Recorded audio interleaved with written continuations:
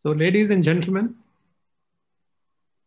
it's indeed my proud honor and privilege to welcome you all on behalf of the entire governing committee of CAHO, the Consortium of Accredited Healthcare Organizations, to welcome you to the first academic program of the year 2021. And it also gives me great pleasure to introduce you our new logo, as you can see on the screen, which is now different with three petals and a drop. And the three petals representing the CAHO healthcare institutions, CAHO diagnostic centers, and CAHO individual uh, quality professionals.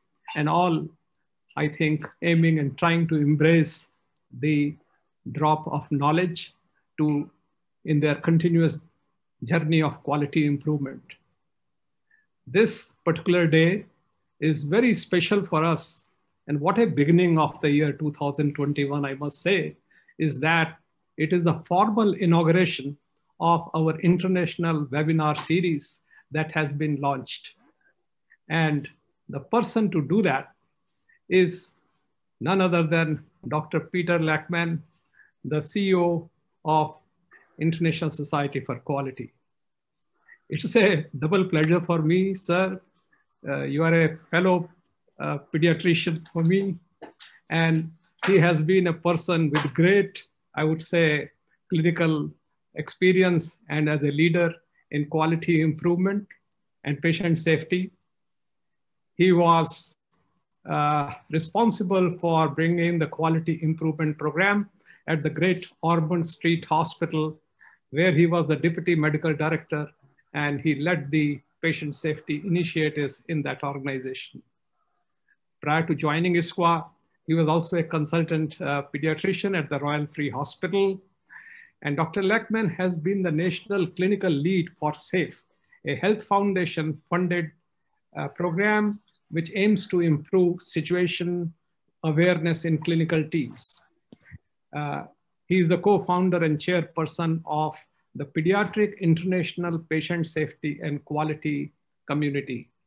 So it's really, sir, what an honor, what a pleasure it is for us to welcome you to formally inaugurate and launch this program. Over to Dr. Peter Lachman. Uh, thank you very much, Vijay, uh, just for that welcome. It's a great honor for me to start the year 2021 with this program, an initiative we are doing with our friends CAHO, uh, which Anuradha reminded me we started off a few years ago uh, at a meeting at one of our conferences. And now we're here today launching this international program in India. And it's our first ISQua event of the year with you, so we're very pleased. Why it is so important is that by joining together, we can really make a difference we at ISQua believe in spreading knowledge, uh, building networks, and giving you a voice. And this is exactly what we're doing today with CAHO. Uh, we have one of our board members, Dr. Shin Ushiro from Japan, who's one of your speakers today. And we have a series for the rest of the year. Every month on the first Tuesday of the month, you will have a talk by one of our uh, experts, academic, uh, academic uh, academy members, and people who are really willing to share their knowledge with you so that we can make a real difference. Uh, as you know, um, 2020 to 2030 is a WHO decade of patient safety. And this is why it is so important that we spread the knowledge that's required in order to have patient safety worldwide. So you will hear from experts who have done work in different countries, and there'll be a lot of take home messages. What we want you to do is continue the learning through the CAHO programs and through our fellowship program. Uh, is a membership organization, and as you can see, uh, by joining with us, these kind of things can happen, and we really need to work together to make a real difference going forward. So uh, I'm not going to speak very long because there's lots that you can learn, but you can always contact me to, to discuss what you want to find out about patient safety and quality. We can lead you to different directions. But the most important thing is to listen, to learn and to apply and to make a difference. And when you go back after today's talk, think about what you can do in your own circumstances to make a difference for the people who seek care. At this time of COVID, we have to work together to think differently of how not to return back to what we did to before, but to return to a better place, to go to somewhere where we have made a difference and made changes in quality and safety. There's a lot we can learn from each other. So let's learn together and I wish you well. So I want to, I want to thank the team uh, at, at CAHO for inviting us at ISQua to join you on this venture. And when I had the invitation, there was only one answer I could give, which was yes, a great idea. And I'm very happy to see us go on the way. So thank you very much. And I wish you well for the rest of the year. And may we all together come through this current crisis in a better place. Thank you very much. Thank you, Dr. Peter Lachman. We appreciate your taking the time to inaugurate this CAHO ISQua International Webinar Series. So I'm Dr. Anuradha Pichmani, Joint Secretary Hospital for CAHO. It's my pleasure to welcome our speaker for today's webinar, Dr. Shin Ushiro, Professor and Divisional Director, Division of Patient Safety, Kyushu University Hospital, Japan. Dr. Shin Ushiro has strong interest in patient safety and has championed the themes of just culture and patient-centeredness in the various leadership roles he has held till date. In his distinguished career, Dr. Shin Ushiro has gathered a variety of experiences as a surgeon, a basic uh, science researcher, a patient safety officer, and a government official. And uh, all these roles have enriched his perspectives with deep insights to raising the standards of healthcare quality. From his position as an executive board member of the Japan Council for Quality Healthcare, along with those of being a board member of ISQua and the Japan Society for Quality and Safety in Healthcare, Dr. Shin Ushiro brings new learnings that could be replicated elsewhere for greater good. I now welcome Dr. Shin Ushiro to deliver his talk on incident reporting, analysis, and building the culture of safety. And with this, I have some information to all the participants. I request all the participants to kindly post their questions on the chat box. And again, request all the participants to stay on till the end of the session as we have an interesting poll for all of you and the participating certificate with the fellowship credit points will be sent to all the participants who stay till the end of this webinar. So uh, with this, over to you, Dr. Shin Ushiro. Well, thank you very much, uh, Dr. Pichmani, for kind introduction of my current activity and my uh, CV. Uh, and um, hello, everybody. Uh, I am really honored and uh, privileged to be a part of this valued international webinar series.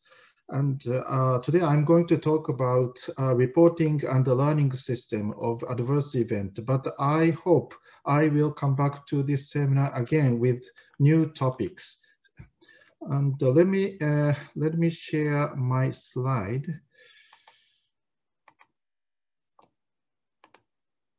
Okay, uh, can you see my slide? Yes, sir.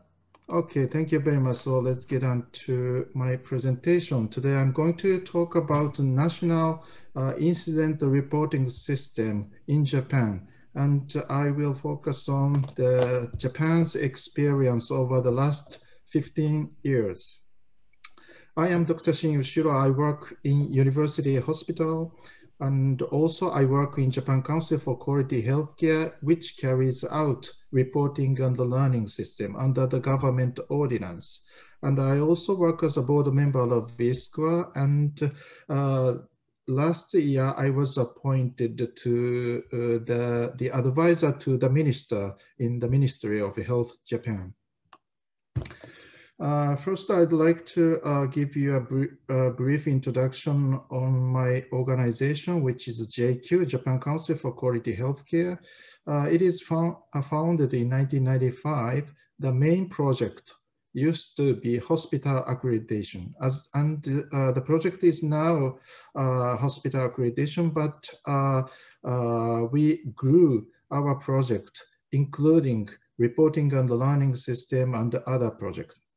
Our organization is chaired by Dr. Hirobumi Kawakita. Uh, he used to be a chairperson of uh, Tokyo Metropolitan Hospital Association, and he is really influential person not only in medical society, but also in political society in Japan. Our organization is founded by many organizations, including two major bodies, which is Japan Medical Association, which is Physicians Association, and another one is the ministry. And of course, uh, JQ is a member, an organizational member of ISQua. And uh, we, are, uh, we are willing to enhance our collaboration, collaborative activity uh, with uh, bodies uh, on global scale. And this is to to show you the, uh, the list of our project, including hospital accreditation on the top. Um, hospital accreditation on the top. And it also includes reporting and learning system of medical institutions and the community pharmacy as well. And uh, uh, more importantly, uh, all those projects are operated uh, in the presence of patient representatives. This is our policy. So we call our, our organization a neutral and third body in Jap Japanese Medical Society. And uh, next, I would like to give you a brief background of, uh, of the launch of National Reporting and Learning System in Japan. Uh, in late 1990s and early 2000, uh, Japan went through devastating medical malpractice cases. Uh, for instance, on, that, on the top, uh, what happened in Yokohama City University Hospital, uh, which is located in the suburbs of Tokyo. What happened is that the patient, two patients for surgery were mixed up so the heart of patient X and the lung of patient Y were mixed up. And we also observed uh, other deadly accident uh, in, at that time. So uh, in response to a growing concern of patient on patient safety of, uh, in Japanese society, uh, the Ministry of Health, MOH, launched a holistic patient safety policy, including uh, two levels of reporting and learning system, which are the one in hospital and another one at national level. So um, when uh, the policy was uh, compiled, uh, MOH had already initiated reporting and learning system of near miss event uh, only near miss event because uh, medical institutions fears of reporting uh, deadly accident to uh, to government or government agency uh, because they they are uh, qualified to penalize medical institutions anytime. So the initial reporting system was operated by the government agency, but in response to the holistic policy, national policy on patient safety, the government uh, prepared a subsidiary budget for operation. And the government also uh, revised the government ordinance for uh, operating reporting and learning system. So uh, then uh, the project uh, moved from the government agency to JQ this is uh, the project of near miss event reporting.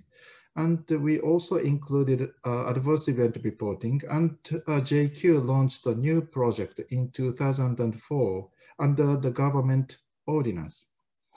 And two years later, uh, the, um, the government again revised the Healthcare Act and uh, government ordinance again to mandate all the medical institutions to, uh, to install internal reporting and learning system. So the two levels of reporting and learning system were equipped in Japanese Medical Society in 2006. And what happened next is that uh, the, the Minister of Health came to us again to ask for launching near miss event reporting system of pharmaceutical uh, community pharmacy. So now we are, uh, now JQ is now operating several types of reporting and learning system.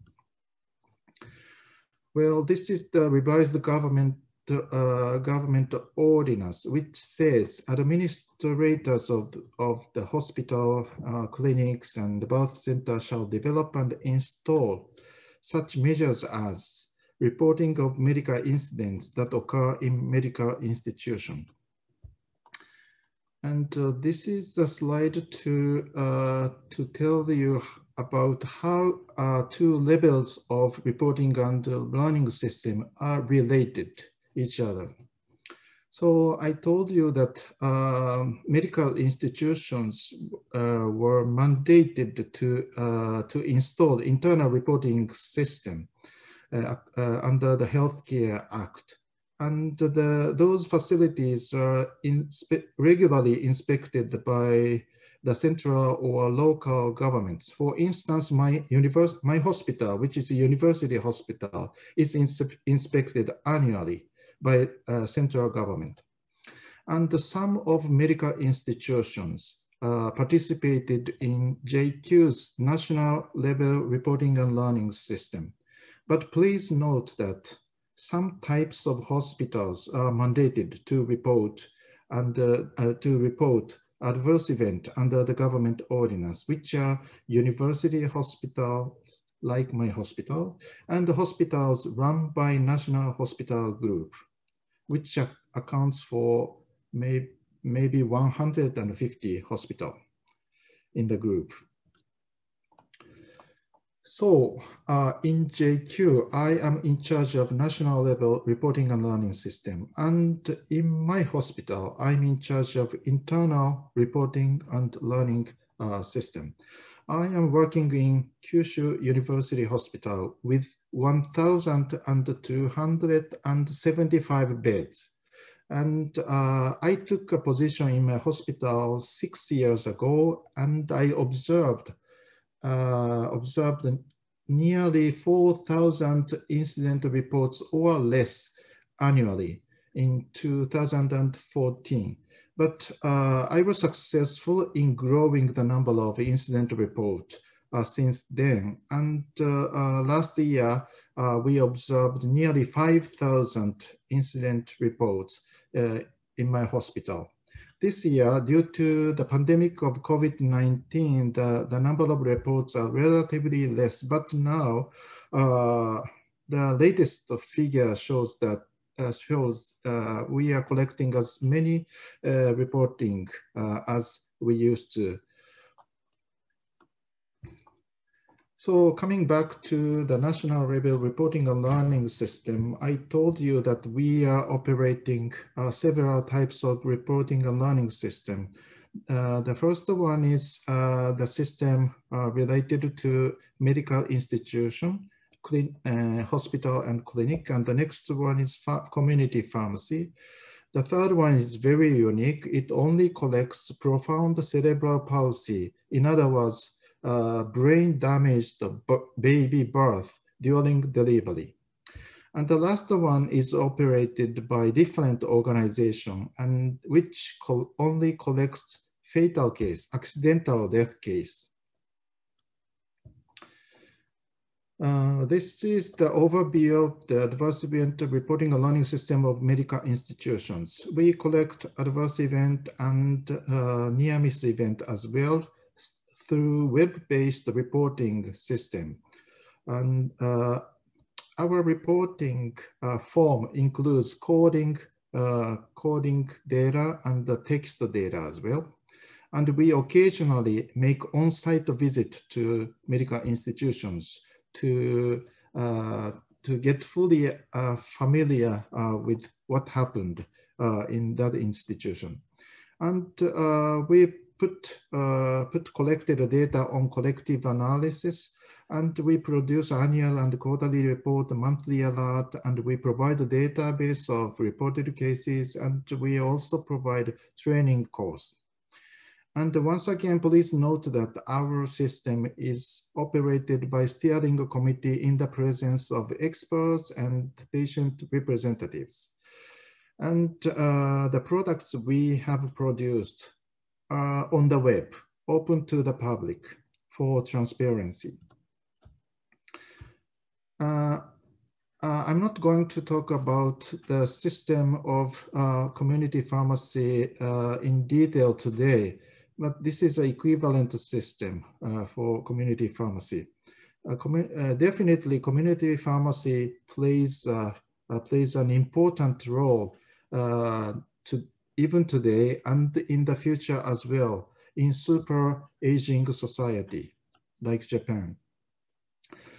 And uh, we also co uh, conduct sort of reporting and learning system of brain damaged baby. What is unique about this system is that we pay monetary compensation. We pay money uh, to uh, baby and families uh, uh, in which baby developed cerebral palsy during, due to the cause which took place during delivery. This is very unique system.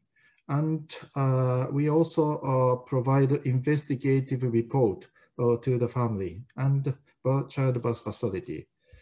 And we observed a rapid decrease in the lawsuit case, rapid decrease in the lawsuit case related to obstetrics and gynecology. Uh, well, uh, I'm not going to talk about a lot on, on this system, but I will come back to this uh, webinar with this with this topic I hope uh, I hope we I will come back soon. So coming back to the reporting and learning system of, of adverse event and near miss event, uh, we uh, we launched the system in 2004. Uh, so our system is included in WHO draft guideline for adverse event reporting and learning system, which was published in 2005.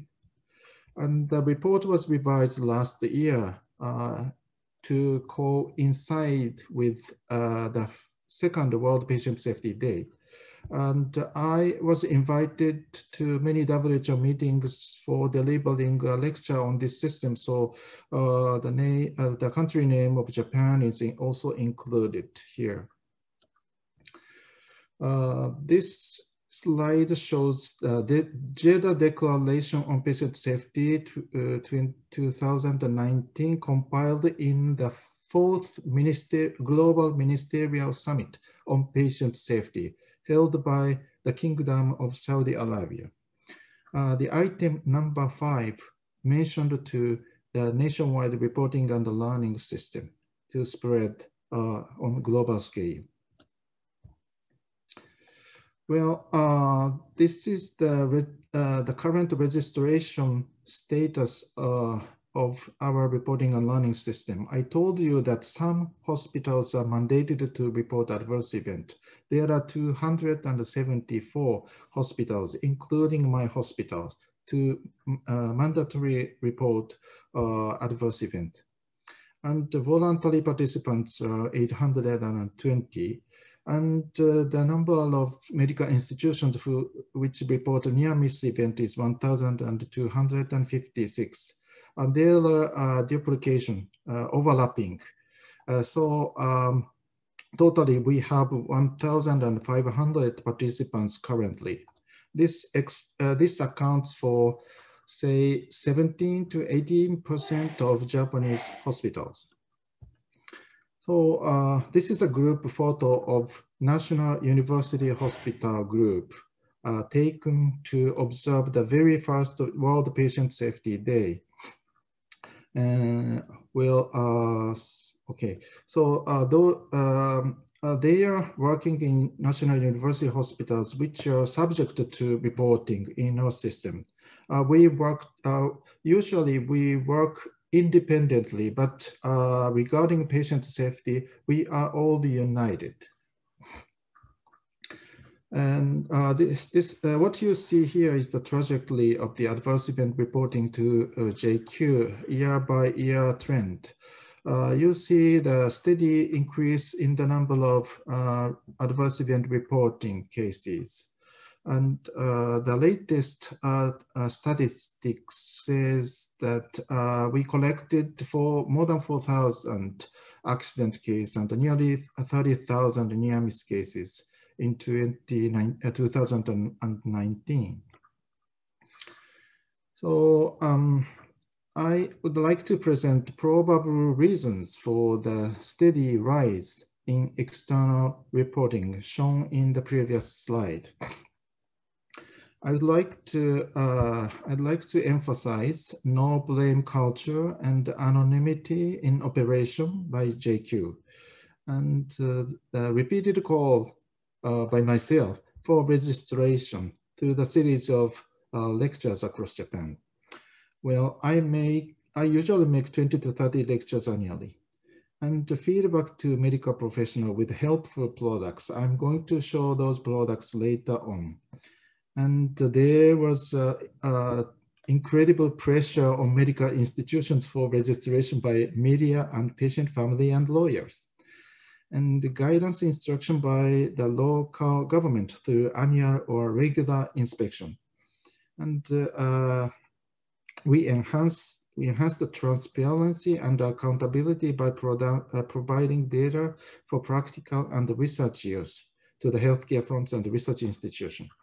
I think uh, those uh, are the um, primar uh, primary reason uh, for successful operation of our reporting and learning system. What you see here is the contents of annual and quarterly reports. Uh, we include the numerical analysis and the thematic analysis. This is one of the example of numerical analysis. We provide uh, tables and uh, figures. Um, looking at this, uh, looking at this figure, uh, nursing care is most common because it includes patients fall. Uh, and I'd like to stress that uh, we have 30% of uh, cases related to procedures, include, including surgery or invasive uh, procedures, which is very, very uh, helpful for our education. And uh, this table shows the frequent adverse event. we see uh, overdose as administration of drug very frequently, wrong drug administration, overdose prescription, wrong patient, and etc. etc. Well, um, we, we produce quarterly report and annual report. On, uh, on each report, we include more than 100 uh, tables, uh, and uh, all of the tables are on the web. Which is open to the public. And if you click one table, uh, you see the actual table. And you, if you click the numeric number in the table, you see individual cases. And let's go uh, move on to the thematic analysis. We, uh, since 2004, uh, we have produced more than 200 thematic analysis shown here. Let me magnify this slide. In the latest uh, quarterly report, we uh, picked up uh, cases related to rehabilitation, cases related to heparin solution, overdose of heparin solution, and a special diet for patient with dysphagia. Uh, for patient with dysphagia, we serve special diet, which is which is not liquid, but half solidified diet to prevent aspiration, but occasionally uh, we serve wrong diet. So patient begin to suffer aspiration. Um, looking, uh, looking at the uh, pages of thematic analysis, which, uh, which is as, as long as 10 to 20 pages, and uh, it looks like this. It includes uh, case presentation and uh, collective analysis of probable cause and preventive measures. And you will learn what sort of adverse events are taking place in Japan and how they are happening and what type of preventive and improvement, improvement measures are actually taken in facilities through collective analysis of our report. Uh, for instance, I, I will give you uh, an example of case presentation, uh, the, which is wrong dosage administration of heparin solution. What happened is shown in this slide and the following three slides. A physician planned to administer heparin solution at 100 unit per kilogram per day to a baby in NICU, but the physician wrongly prescribed it at per hour, resulting in 24 time overdose. The prescription, including dilution protocol and flow rate was recorded on a prescription sheet, which, is, which was a paper by handwriting, uh, handwriting. And in general, continuous infusion is dispensed by pharmacist who is very professional uh, during daytime shift. However, this event happened at night. So injection had to be in initiated during a, a night shift. Therefore, a nurse who is not a professional for inspecting uh, the dispensing, uh, nurse dispensed it according exactly to the wrong prescription without, without inspection or clarification to doctors.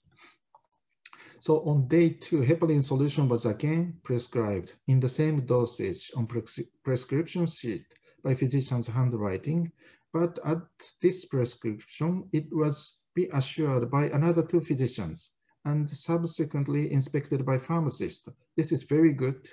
And pharmacist dispensed it. But the pharmacist asked the physician to clarify the reason for administering, administering heparin to the baby. However, uh, the pharmacist didn't identify the overdose. The baby manifested bleeding tendency on blood test and fluid retention in the stomach. Finally, it turned to be massive blood clot in the stomach. However, the patient was kept under observation as similar symptom had been observed since the childbirth. On day three, APTT was prolonged, which means insufficient blood, blood coagulation. Therefore, therefore, heparin was halted for one hour and resumed with reduced flow rate by 75%. And at night, 9 p.m. at night on the same day, APTT was still prolonged. So the physician discontinued heparin, but the baby began to, uh, began to manifest nasal bleeding. On the next day, day four, APTT was 90 uh, seconds, i.e. it was it's back to normal value. Accordingly, heparin administration resumed. At this point, the physician recalculated the original dosage in previous prescription to eventually identify the overdose. So this is the schematic interpretation of the case I described. In NICU, uh, there, there was no pharmac pharmacist. There was only physician and nurse at night. And the physician prescribed uh, heparin solution. Uh, uh, and uh, he wrote uh, the prescription on a paper by handwriting. And the nurse dispensed it at night with no inspection. And another thing, another thing I need to add is is about ordering system. It only carries the number of vials, number of ampules and bottles, etc there is no, uh, no uh, precise amount of heparin solution and the flow rate of heparin solution. So in different place uh, at pharmaceutical department, uh, there was pharmacist uh, who, who said uh, they inspected, but they just looked at the screen of ordering system. Uh, only, uh, only the number of vials and the number of ampoules were uh, displayed on the screen. This is very, very insufficient uh, inspection. Uh, we also include probable cause and preventive measures in our thematic analysis, but in order to save time today, I'd like to skip uh, those two, uh, those two uh, issues. And PDF file of our individual thematic analysis is uh, it's posted on our website uh, with classification in different color. So you can access, anybody can access to our uh, thematic analysis. Uh, well, uh, uh, this is uh, the production flow on thematic analysis, uh, initial, original analysis, and analysis of recurrent events, and monthly alert. I told about thematic analysis, and if necessary, we also publish monthly alert with the same theme. And if the similar case or exactly the same case uh, take places over and over again, uh, we once again pick up uh, pick up those cases as theme of for analysis of recurrent event. So we do the same uh, for recurrent cases. We so far we have uh, published uh, nearly 200 themes on recurrent event. Um, okay, I'd like to change the topics of collaborative work uh, uh, with a hospital group, which is Japan National University Hospital Alliance for Patient Safety. It is called, uh, it is dubbed as JANFA Patient Safety. Years ago, uh, I remember it was 2012, eight years ago, we picked up uh, uh, uh, thematic analysis, which was failure to confirm CT and MRI imaging report. And we produced a thematic analysis and monthly alert in 2012. And in order to give you the image of the case, uh, I'd like to uh, tell you about uh, one example. What happened was that patient diagnosed with abdominal aortic aneurysm underwent CT scanning for follow-up, and vascular physician recorded the findings of, on the, of the CT image on medical chart. And one year later, another physician, nephrologist, uh, in charge of the patient, learned from another hospital that the patient developed lung cancer reviewing retrospectively the CT imaging report issued by radiologist one year ago, it describes it described as there is a lesion highly suspicious of lung cancer. So this is the uh, this is the case uh, uh, which was highlighted uh, at that time and in recent years in Japan. So uh, over the last couple of years, Japanese media highlighted uh, the case, uh, the similar cases, and uh, this is a big uh, newspaper report uh, which says the physician in charge ignored cancer in organs that he or she didn't specialize in, and the CT imaging reports mentioned to cancer. And in this university hospital, nine similar cases took place, including two fatal cases. So in collaboration with uh, JANFA, uh, we and they, uh, they uh, conducted a questionnaire survey in 2017, and they, uh, they compiled a report in 2018. Uh, this is just to give you an example of uh, our questionnaire. Uh, the question was, is physician reminded of a new issuance of imaging report when it is produced by radiologist?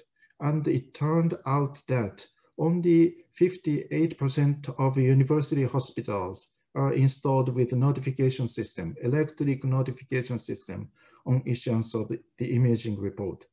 And physicians need to keep the CT taken in mind not to fail to refer to the report. This could cause error definitely. So the notification system rapidly spread in the alliance during uh, 2018 to 2020. So I'd like to switch the topic to our monthly alert.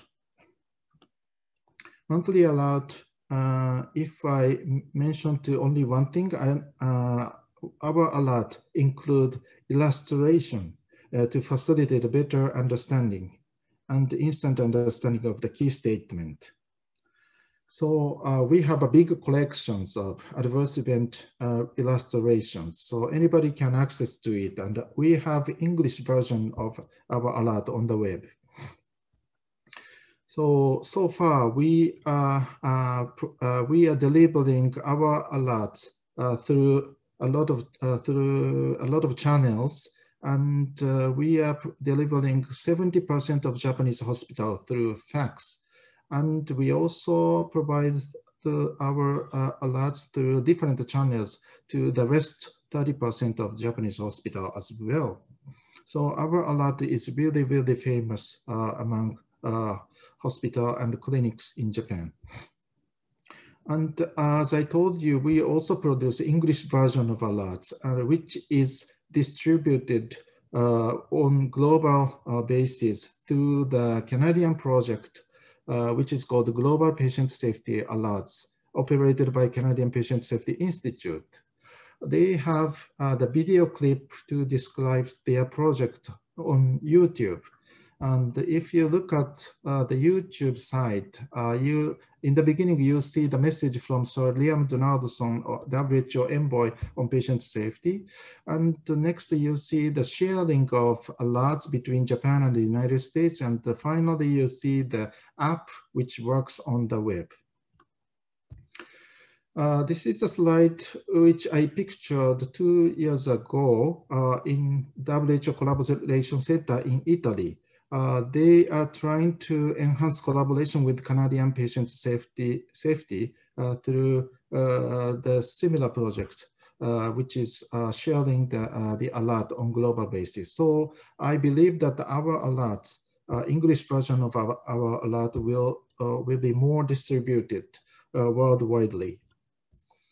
Uh, we have uh, uh, we have English pages uh, of our reporting and learning system. So you just input Japan Council for Quality Healthcare and the project to collect medical near-miss adverse event information uh, on Google site, and uh, you just click, and you will reach our English pages. It it encompasses annual report and the medical monthly alert as well.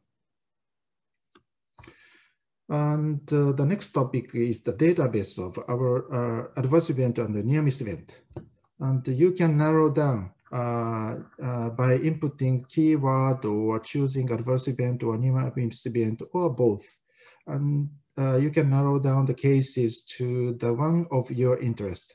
If you input the keyword as dialysis and you, if you choose an adverse event, uh, you search uh, 706 adverse events related to dialysis. And you can download it uh, onto your computer instantly. And you can open the file through Microsoft Excel for research use of, or for practical use as well.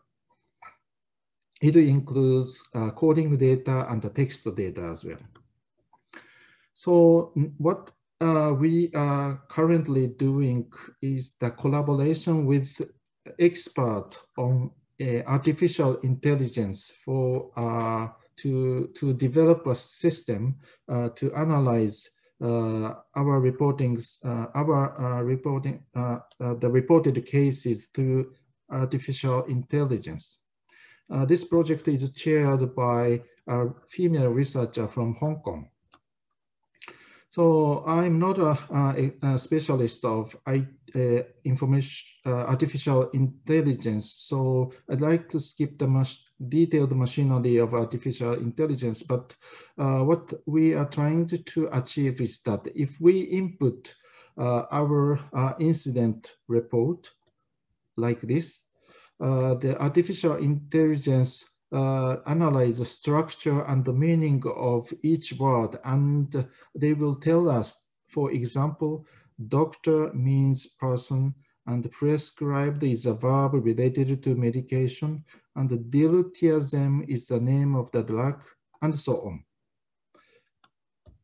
So uh, now we are um, uh, producing, uh, no, we, we produced uh, text we produced a text for uh, training uh, uh training artificial intelligence over the last two years. What we did is the annotation. Uh, physician is the people involved. Two milliliter is the strength related. Uh, this is the this this is what we call annotation. we label each word with its meaning. And we developed annotation uh, training course. And uh, this uh, project is chaired by her.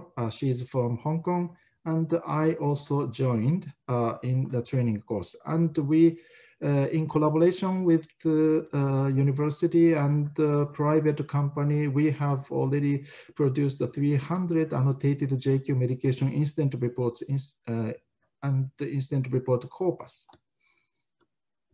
So what we are, we are doing right now is to distinguish what, what uh, which drug is intended and which drug is actually delivered to patient. Uh, we are trying to distinguish one from another. Uh, we call it intention factuality annotation. So in parallel with uh, cutting edge research uh, through artificial intelligence, we also observe conventional type of research. This is a research paper uh, to uh, figure out characteristics of medical adverse event, near-miss event associated with laparoscopic and thoracoscopic surgery. In other words, abdominal surgery and chest surgery. And our database uh, is, is highlighted, is focused on not only by researchers or medical professionals, but also uh, by pharmaceutical companies because uh, they may find, they may identify their products uh, in, on, our, on our database. So there are three different alerting documents, alerting materials from pair of companies, which produces uh, drugs uh, which appears like as sound like drug cases on our on our database. for instance, Xylase and Serenase uh, Rupafin and Lusefi, uh, Graceptor and the Prograf. Uh, these sound, uh, sound is very confusing to us Japanese people.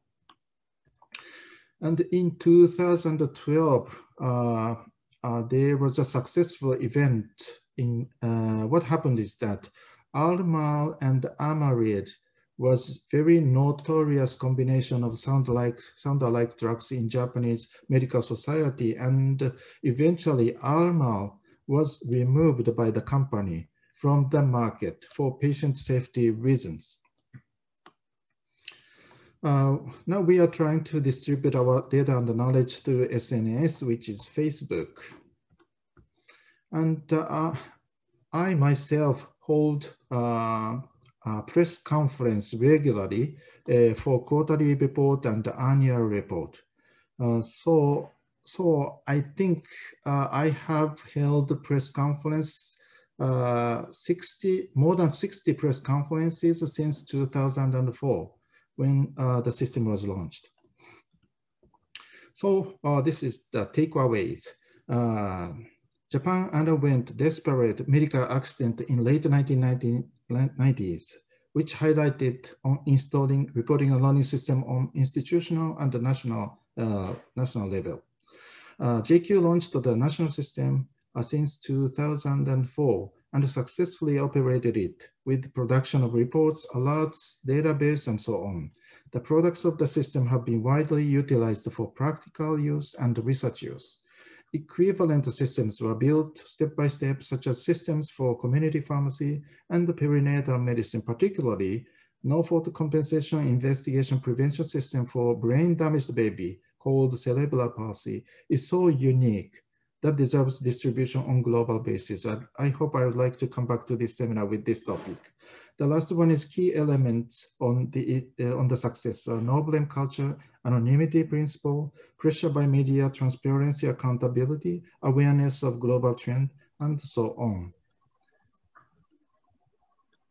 Okay, uh, this is all I have today. Thank you very much for listening to my lecture. Thank you again. Thank you, I'd Dr. like to stop. Shiro. Thank you, sir, for sharing so your experience on making healthcare better. Mhm. There were many great pointers and lessons for us all in your talk, and I'm sure the participants would want to ask you more about them. So to take the deliberations forward, I, would, I now invite Professor Dato Dr. Ravindran Jegasothy, President of ASTWA and a very committed champion of quality in healthcare. Over to you, Dr. Ravindran Jegasothy. Thank you, uh, Dr. Anuradha and Professor Shin. That was a very enjoyable lecture. Uh, and uh, there have been a lot of questions that are coming in, but one Okay. Theme that comes out from these questions is between mandatory reporting Mhm. and voluntary reporting. Okay. And you have illustrated a national system Mhm. which started with mandatory reporting and moved on. huh? Uh, So, uh, would you like to elaborate further? Do you visualize any system that will be purely voluntary without some pressure from patients as well as governments? Um, okay, uh, you're asking uh, uh, asking me for elaborating. Uh, No, So, uh, basically, uh, okay. basically, yes, basically, uh, your system is yes, started with a mandatory uh, Mhm, requirement from the government, yes. and there has been uh, uh, voluntary reporting of various incidents. Okay. So, how do you encourage them? Uh-huh. How encourage? Okay. Yes. Oh, well, um, actually, uh, the reporting learning system uh, was uh, included in very famous IOM report, Institute of Medicine report in, uh, published in the United States in 1999. So uh, JQ thought that this is a global trend uh, uh, to carry out reporting and learning system. But uh, uh, in around two year 2000, Japanese Medical Society had no idea of the the global trend. So we made lectures maybe 60 times at at most uh, uh, in some year uh, across Japan, and we described uh, what we need to do as medical professionals for patient safety to catch up global trend. And the government supported us and the government uh, uh, uh, instructed medical institutions uh, in promoting manner on annual or uh, regular inspection. And the patient and the media also supported us very, very effectively and uh, they uh, uh, they um, pressured medical institutions to register in our system in order to in order to exhibit their their principle or their attitude toward patient safety. So uh, if if big incident happens, press people and family and lawyers always asked, asked the, the administrator of hospital or clinics uh, if they are participating in JQ's reporting and learning system. Uh, in that case, if they say no, they are very ashamed or they are, are really blamed by them. So, so all those uh, collaborative effort encouraged hospital and clinic and birth center to participate in our system. Yes. Thank you. Uh, The other question is, uh, some pe- persons have asked, is there a benchmark for the number of incidents that should be reported in any institution or in the country in terms, in relation to the number of patient encounters that we have? Mhm, Okay. Well, actually, uh, on national uh, on national level, there is only one uh, reporting and learning system, which is JQ's system. So we do not have a benchmark. But at the institutional level, uh, many Japanese uh, hospitals disclose the number of incident cases, so we can benchmark each other. So uh, I told you that uh, my hospital has more than uh, 1,200 to 75 beds, and we produce uh, nearly 5,000 incident reports annually. Uh, I believe that this is a little bit uh, more than average, not very, not many. Okay, all right. the other question is, yes, you, I think, emphasize the fact that all these are non-punitive, they are anonymized mm -hmm. reports. Okay. All right. I, I think that's an important lesson that you have Mhm. so that you have encouraged reporting. Mhm. Uh, do you find that despite it being a non-punitive system, there have been actions taken on certain staff or doctors regarding incidents that have been reported by particular hospitals. Uh, uh, well, okay. Uh, at least, uh, at least in our system, there is no uh, no pen, uh, punishment, no penalty on on the hospital who reported. But if the case is publicized through media, uh, those hospitals or clinics are blamed, uh, obviously. Uh, but well, but to tell the truth, in initial couple of years, I was I was hit by a fierce and intense questions from the media uh, they urged me to disclose the name of the hospital or the names of medical professional involved in the, the accident. But I didn't say, I, this, I refused to uh, disclose the name uh, because uh, the system is aims at patient safety. Uh, we need to preserve anonymity and no blame culture. So the, nowadays, Japanese media is increasingly familiar with the idea uh, to how idea on how to operate this this system like this uh, for patient safety. So uh, as far as they are, uh, as far as hospitals and clinics are transparent and accountable for the case, uh, they are not very much blamed uh, in recent years. finally, one last question for you. Yes. do you feel that Japan will come to a certain stage where hospitals will be able to report their own incident reports to the public uh, in terms of, uh, you know, a result chart, for example, a comparative chart between hospitals. Ah, I see. Well, okay. Uh, actually, uh, at this time point, I would say no, because uh, it's uh, labor intensive work to report all the cases which take place in the hospital. But uh, in my experience, uh, when I find deadly accident or a severe accident on newspaper, uh, those cases are surely reported to our system. So they are, I believe that they are reporting very, very important cases to JQ, but the cases with less harmful or no harm uh, it's labor intensive, so they do they, they do not report all the cases.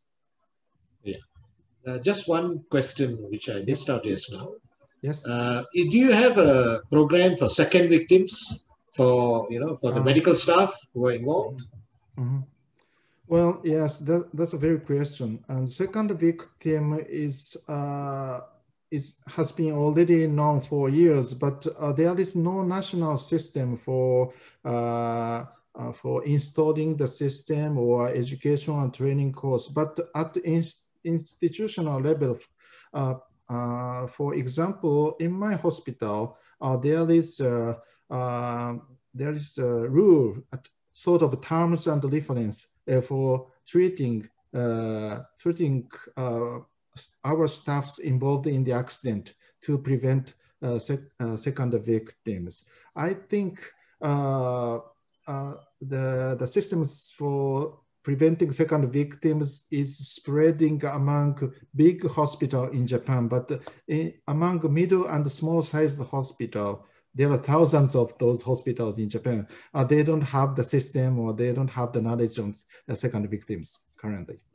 Thank you. I think Dr. Shin also alluded to the obstetric compensation scheme from mm -hmm. Japan.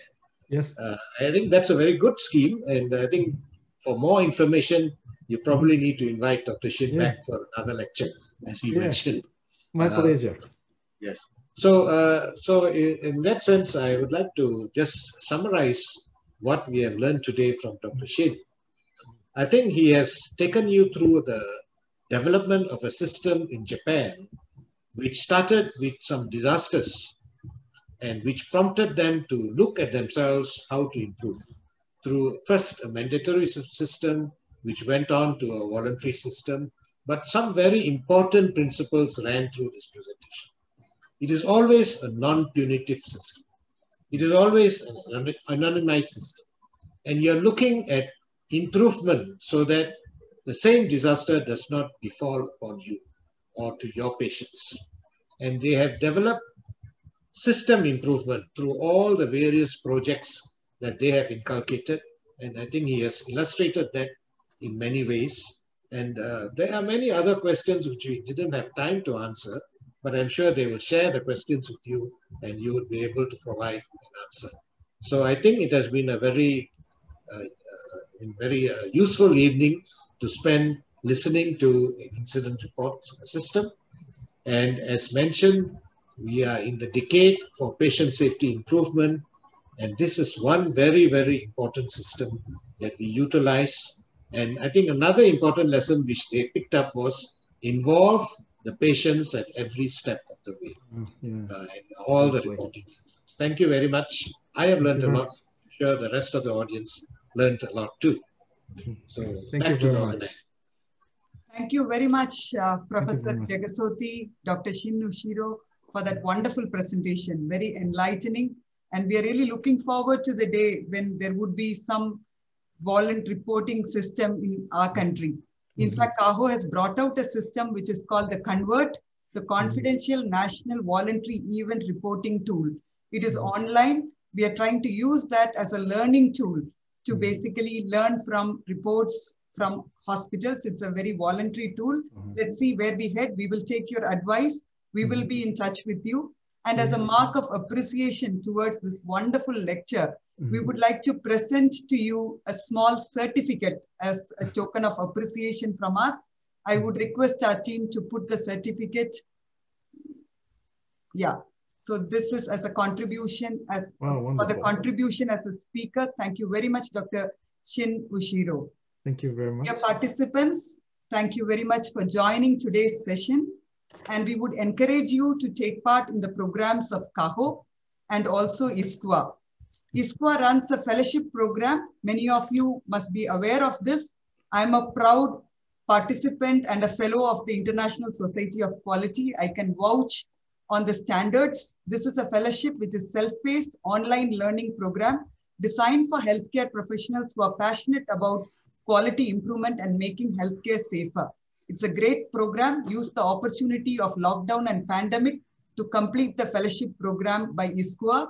If you are interested, you could write to this email ID or you can also write to us. There are special discounts if you are a CAHO member. We run a program with the Asian Society for Quality, ASQUA. This is jointly by CAHO and ASQUA. This is an online course on certif uh, it's a certificate program in healthcare risk management. This is CHRM. 16 E modules, self-paced learning, 24 hours of content, lot of activities, exercises, reference material, Mhm. and you will need to complete this in six months. Today is a proud day for us. We have our first participant who completed the program, Dr. Dananjay Vasunkar, who is the Mhm. Chief Operating Officer of Era's Lucknow Medical College and Hospital. He has completed the program with uh, great percentage, 82 percentage. He has joined us now. Can we have your video, Dr. Vasunkar?